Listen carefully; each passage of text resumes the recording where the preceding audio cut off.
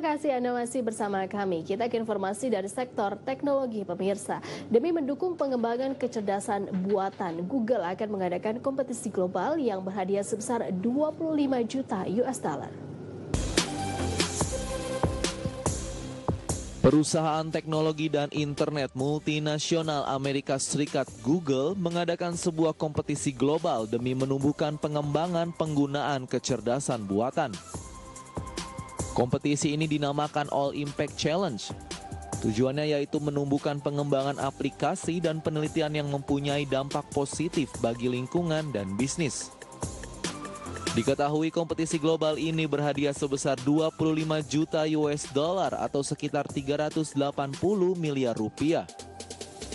Kompetisi ini diurus langsung oleh Google.org yakni salah satu anak usaha Google yang bergerak di bidang sosial.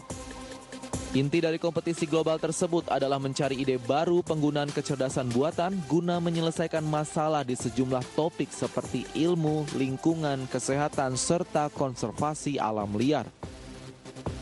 Kompetisi global ini sejalan dengan kebijakan Artificial Intelligence for Social Good milik Google pada awal Juni lalu.